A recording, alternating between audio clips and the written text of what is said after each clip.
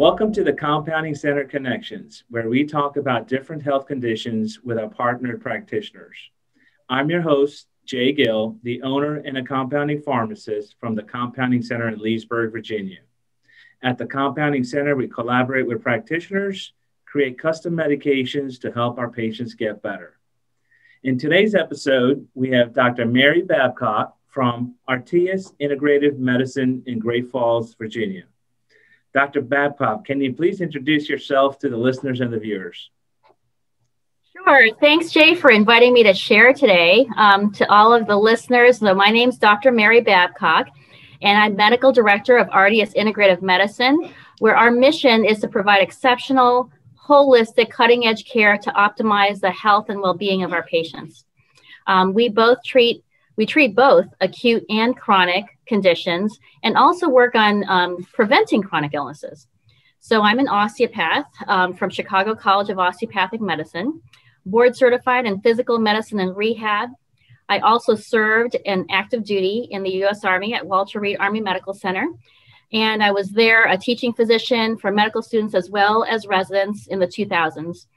Gosh, it's so weird to say that, 2000s we're in the 2020s now. Yeah. Um, so while I was there, I did treat amputees and published research wow. and um, looking into novel methods of procedure and procedures for treating chronic pain, phantom limb pain.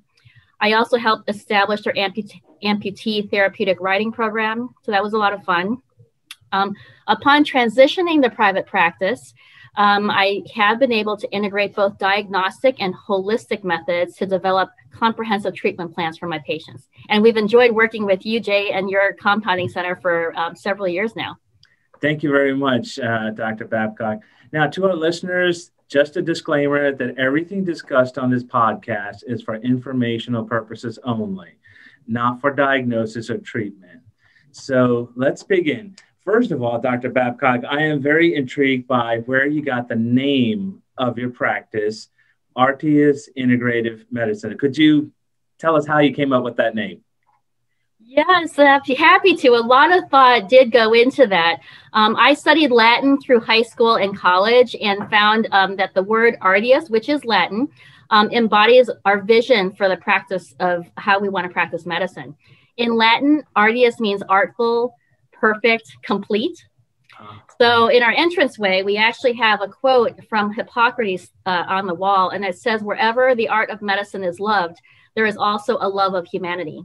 So that quote just embodies the culture of our clinic. Um, we try to implement our cutting edge techniques and also be creative and think outside of the box um, to, you know, compassionately care for our patients. And we also recognize that the environment also plays a role the part of the healing process. So we've prepped our whole area to, as soon as the patient walks through, through the door, to be calm and serene, um, to have a healing experience for anyone who walks in.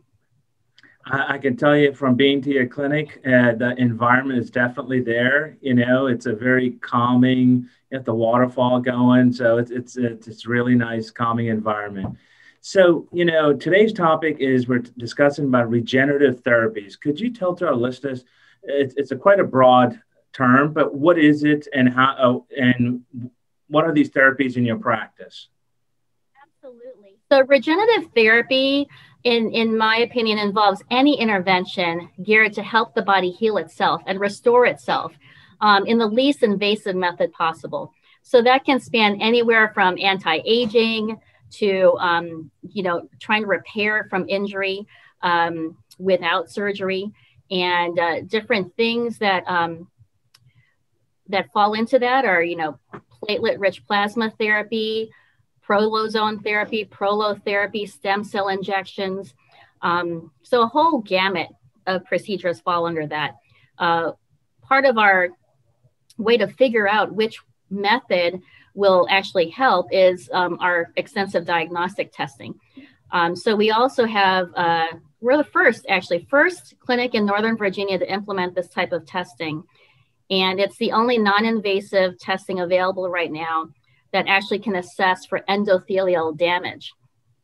And so we can also learn about how to prevent microvascular disease or, or heal it um, with our regenerative therapies. Gotcha. So, um, what types of conditions would uh, uh, you mentioned prolotherapy, prolozone? So uh, tell me what types of conditions uh, can regenerative therapies fix? Give us some examples. So it can help with acute injuries as well as chronic. You know, an example of acute injury like a shoulder labral tear or a meniscal injury um, through sports or even just you know recreational activities. Um, it can help with chronic pain as well. Um, when you have bone on bone joints, um, and you may not be, you might be too young to get a re- knee replacement therapy, for example. Um, but you know the steroid injections don't help anymore. Um, you may not be a candidate for PRP, which is using your own platelets to inject in the knee, but you may be a candidate for ozone injections or or stem cell potentially. Okay. Um, now, I, you know, you, um, you're using terms like PRP, prolozone. I just wondered if you could potentially, um, can you share like a case or a success story with us so I can understand this a little bit better? Um, you know, uh, can you share some success stories? Oh, sure. We I actually have a few. So we we've been doing this type of therapy for you know a few years now, and um, you know, one story that comes to mind is uh, we had a D1 athlete recently with uh, who sustained a complete ACL rupture during a tackle at the last game of the season, and so we were able to treat him within two weeks of his injury with PRP as well as stem cells, followed by prolozone injections. Um, after he had completed all those injections, it was probably about three to four weeks out from his injury, and he was already getting some um, atrophy in his thigh muscles. And so we actually also have um, high intense focus electromagnetic therapy, oh. um, HIFEM for short, that we were able to implement on the muscles of his thigh to help stabilize the knee, increase the strength. And then he was able to proceed with sports specific physical therapy. So the success, like he was feeling better, he felt more stable, but then the ultimate test, let's check your MRI out again. And the repeat MRI did show approximate, approximation and healing of his ACL. Gotcha. And he actually was able to return to play the next season. Wow. Wow. Uh, any other success stories? Yeah, uh, so that perhaps? was one. Um, yeah. I have another one. So uh, this other one is a female, older, postmenopausal, um, had uh, suffering from adrenal fatigue, uh, depression, as well as difficulty walking due to hip pain. After our lab testing, we implemented you know strategies to optimize her nutrition with supplements and diet specific to her deficiencies. Um, she also went a series of customized vitamin and mineral infusions where she experienced almost immediate energy and mood elevation. And uh, for her hip pain, we did a couple of injections with PRP and stem cell. This was followed up by four sessions of the HIFEM, the high intense focus electromagnetic uh, treatments for her abdominal muscles. And this was important to increase her core strength. She hasn't really hadn't really worked out for a long time because of her hip pain. And she was also very busy with her like, you know, 10, 12 hour days. So um, we wanted to increase her core muscles and prevent injury and help her advance quicker in PT. So the advantage of HIFEM, it's actually 30 minutes of this treatment on her abdominal muscles is equivalent to 22,000 crunches. This has been studied and proven and published as far they've seen on uh, radiographic studies of CAT scans of the muscle, how the muscle actually gets built up with the treatment and is sustained for up to three to four months. So the goal for these patients is they we build up their muscle, but then they themselves can maintain it with their own home exercise program. So, Dr. So, Babcock, so that was. Uh, uh-huh. I'm sorry to interrupt. Um, yeah. Um, you know, can you explain to us in a, uh, um, like what does what is PRP and what is stem cells and what is the high frequency? Can you just like explain to us in a layman's term, like what exactly is that, and perhaps like how long um, does somebody have to be on all three, or can it be one over the other, and how long would this therapy be? Oh, sure. Yeah, I, I, realize I'm throwing a whole bunch of acronyms at you. so, so, thank you for letting me explain. So, um, PRP okay. is stands for platelet-rich plasma, and that is derived from the the patient themselves. So how we get that is, um, let's say the patient's scheduled for an injection. They arrive at our clinic one hour before. We draw their blood, and it gets um, spun down and prepped so we can isolate their own plasma. So that's the nice thing about the PRP. It is the patient's own cells. Um, when someone's older, uh, maybe has a lot of other conditions like, um, you know, diabetes or whatever, um, vascular disease, you know, their um, their platelets they might not have as many um, healthy platelets that would really do much, not much growth factors. Um, and the same with the stem cells. You know, uh, other labs in the area, they will, or clinics in the area, they will harvest your own bone marrow from your hip and um, prep your stem cells in the lab. But the older you are, a lot of um, patients that their their age limits them from getting that treatment. So um, the stem cells that we use are actually harvested from healthy live births, umbilical cord tissue. So not umbilical cord blood, but the tissue, and uh, with consent of the parents, and it gets um, prepped in the lab and and formulated where they also add hyaluronic acid oh. and um, mesenchymal cells are also in that bunch. So you get 750,000 cells in two cc's of the formulation. Um, so that that's the stem cell part.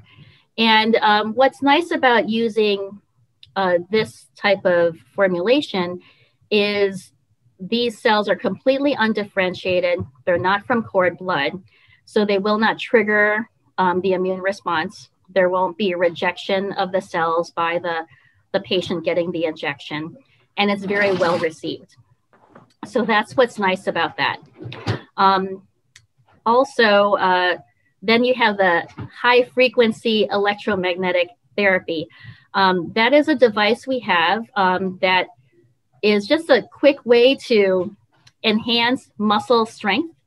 Okay. Um, I, you know, having been in physical medicine and rehab, treating so many back pain patients um, and chronic pain patients, a lot of those folks are not able to do sit ups or crunches um, uh, because of the degeneration in their spine but being able to build that muscle uh, can actually alleviate neck pain, back pain, because you're actually sitting, um, you know, properly. It improves your posture. You feel that after the first treatment. Um, do you have to do all three? No. Um, it uh, the cases I cited, they they pretty much they end up utilizing all of that and had great success. But just depending on what you're trying to accomplish as far as a patient, you know, what the patient's trying to accomplish. Not everybody needs a HIFEM. Not everybody needs stem cell. Sometimes you can just do prolotherapy with just dextrose and lidocaine. And um, we do that a lot, actually. And you don't need to get more esoteric or complicated than that um, because the goal is just to restore the structural integrity. Gotcha. And um, the way we do it, you know, if you Google um, PRP or prolotherapy, a lot of times um, a patient may need several treatments, like, oh, you need, you might need six to eight or whatever. Um, that's not the case in our clinic because we actually um, do several things differently and uniquely. I always make sure their alignment is in place. So we uh, start off with osteopathic manipulation um, to make sure they're in good alignment. And then we do the procedure but then we also brace them. Um, nothing too obtrusive, but you know, a simple neck brace if we're going to do treatment on the neck, um, just for two days. Uh, and then they're returned to regular activity after that.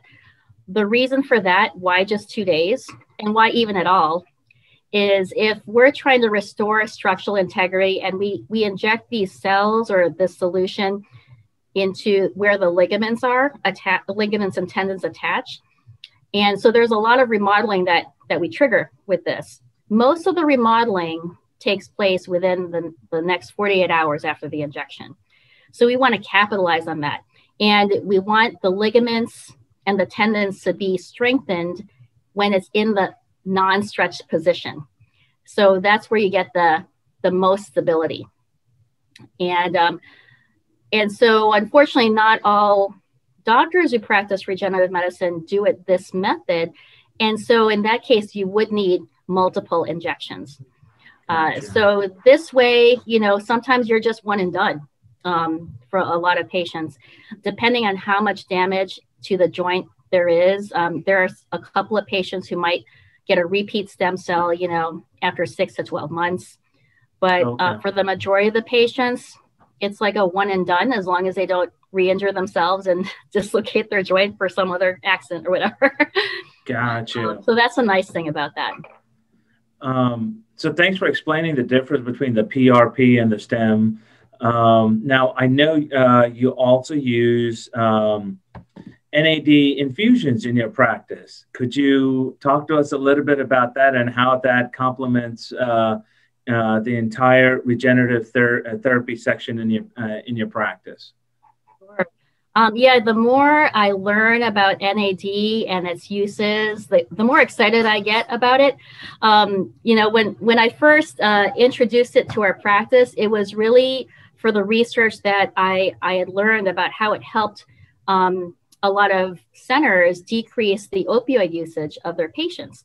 Oh. And, um, and so it decreased the withdrawal effects and um, decreased, it also adjusted the receptors in their, in their brain so they actually didn't crave um, the opioids and their perception of pain, them needing the opioids for the pain, it, it, it kind of reset that. So we were able to successfully wean a lot of our chronic pain patients down on their opioids, if not off. And they were able to sustain that without increased suffering. Like they didn't need uh, somehow their perception of pain was also altered. So that's that's why I first introduced it to the practice. Um, but over the last couple of years, there have been more and more research on NAD. So what does it stand for? Let me start there. Another acronym, right? Um, nicotinamide adenine dinucleotide.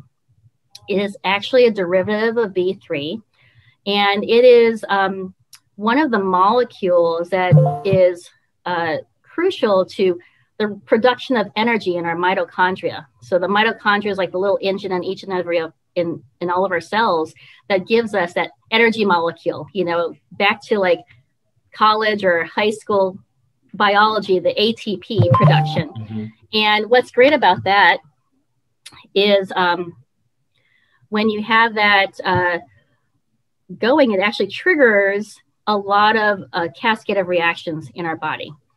There is a certain type of molecule. There's a, a it's a class of molecules in our body called SIRT1, and there's two, three, four, and so on. But these sirtuins, um, more and more research has been done on them, and sirtuin 1 in particular has a process in its actions that's dependent on the NAD. So um, when the NAD, if you increase those serum levels, it actually triggers these sirtuins to do their work. And um, the basic, generally speaking, what they do is they help prevent aging. They help prevent degradation, and they also help promote um, repair in your mm. own body. Gotcha. Um, what's great is, uh, let's see, there was something published in, I want to say May of last year, May 2020. They actually did a study on increasing NAD levels in patients with rheumatoid arthritis. And they found that the actual inflammation in their condition was decreased and their pain was improved and the mobility in their joints were improved. There was also another study um, showing that increased NAD levels in the patient's serum, de- that these patients found decreased whole body mass and increased lean body body mass. So, oh, wow. excuse me, decreased whole body fat and increase lean body mass. Okay. Um, so, so there's that. And um, in uh, and the most recent one is, especially with sirtuin 1 in particular, um, when that gets triggered to do its work, it has been shown to actually repair endothelial damage. Gotcha. And that's what I'm really excited about now because now we have this non invasive way to test if you even have endothelial damage and um, impaired microvascular disease. Um, so you might not have any symptoms per se. You might have, yeah, just a little bit of high cholesterol, maybe a little bit of high blood pressure, but everything's fine, right?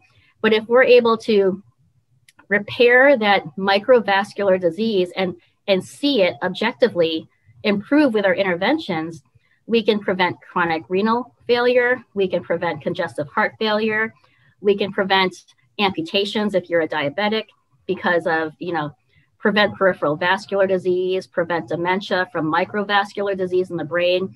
So it's really exciting to have tools and a way to actually track that. And, and patients, you know, they get their results pretty quickly. We review it with them and they're able to see after we repeat it in three to four months an improvement. Wow. That's a lot of information. Good information. I know we have a little bit more time. I you were talking to me about another patient in a car accident, and I'd let you kind of uh, talk about about that uh, uh, case study.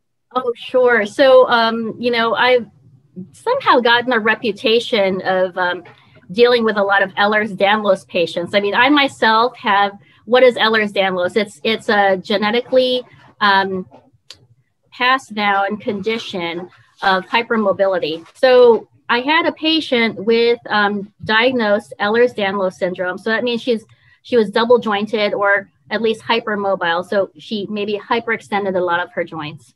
And after the car accident, um, it wasn't, you know, she had a little bit of whiplash. She didn't have any loss of consciousness, but since that car accident, she had been getting like lightheaded, um, heart palpitations, headache, neck pain. And when we did flexion extension x rays of her neck, we actually saw some vertebra slipping, you know, about two, three millimeters um, when she moved bending forward and bending backward. Um, nothing that any surgeon would touch, right, but very clinically significant for her. So, um, doing prolotherapy injections to tighten those ligaments in her neck, actually within a week, she felt her neck was she didn't feel like a bobblehead is what she said. And she felt like her her head and neck were more stable. Within like seven to ten days her headaches diminished. Um, she still had the um, what do you call it? Those sensations of the lightheadedness but there were the frequency was much diminished. Um, we did some nad ivs with vitamins with her and that improved her brain fog that gave her energy. So very good outcomes for her with those two things. Well, Dr. Babcock, you've shared a wealth of information with us and you know how you bring about how you practice, how you get the holistic approach, and some cutting edge therapies. Also, um, how would somebody go about uh, getting in touch with you? Um, uh, and can you share some information? Oh, sure. So we are located on the um, intersection of Georgetown Pike and Walker Road, right in the heart of Great Falls, Virginia, not far from Loudoun County, not far from UJ, probably 20, 20 30 minutes, right? Yeah. Um, we do have a toll free number. It's 844 927 8487. And you can actually text that number as well as call, and, and we, we're happy to take on new patients. Well, we're going to put uh, your contact information and your website address and all that in the description of this podcast. So um, it'll be readily available. And uh, once again, Dr. Babcock, thank you for joining us. I am Jay Gill, and I can be reached at j at compoundingcenter.com. If you have any questions or comments, feel free to reach out to us. Thank you.